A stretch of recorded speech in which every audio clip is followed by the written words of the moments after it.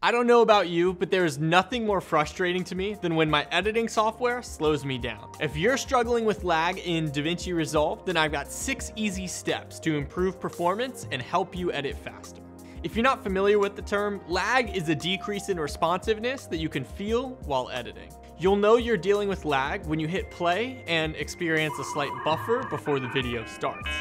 Edits might stutter, deletions could occur, and importing video clips can take forever. One way to see if Resolve is experiencing lag is to check the frames per second or FPS counter located at the top left of the viewing monitor.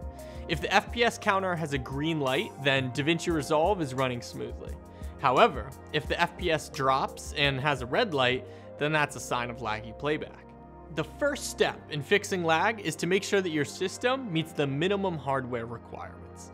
If your system doesn't meet these requirements, it's most likely that your computer simply isn't powerful enough to run Resolve without lagging. This is just an unfortunate reality that you may need to face.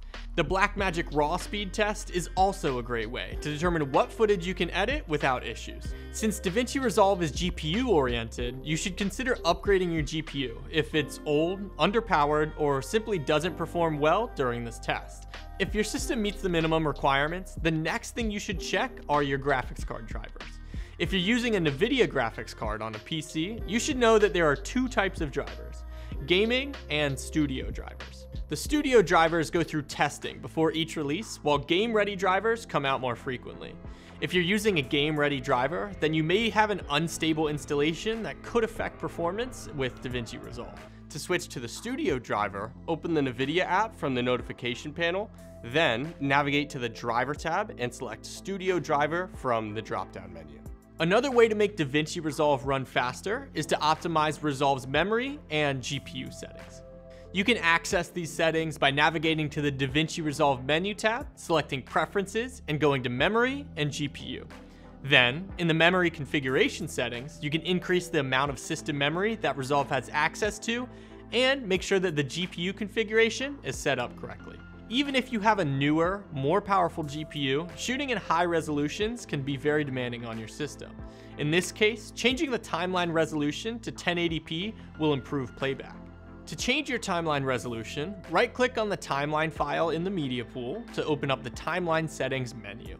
Then, uncheck Use Project Settings and update the timeline resolution to 1920 by 1080 HD from the drop-down menu and click OK.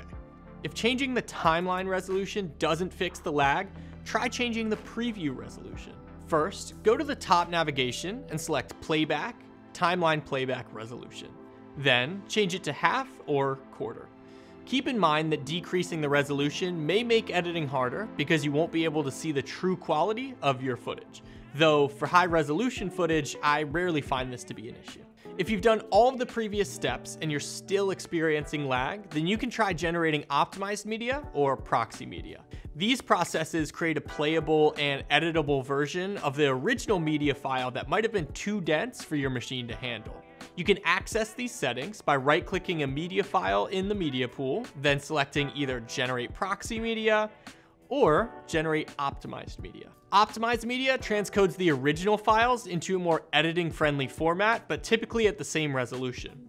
This process retains a high-quality version stored in the location of your choice. Proxy media are lower resolution versions of your original clips designed to be lightweight and easy to edit. The trade-off is that there will be a loss in clarity with proxies and some potential color shifts. To adjust the settings for proxy media, go to DaVinci Resolve, Project Settings, Master Settings, optimize media, and render cache. Keep in mind that when creating optimized media, Resolve will be storing these high resolution files somewhere on your desktop, so it's important to make sure that you have enough storage space for them. When using proxy media or optimized media, it's important to remember that you're no longer in the original color space and codec of the file that was originally generated.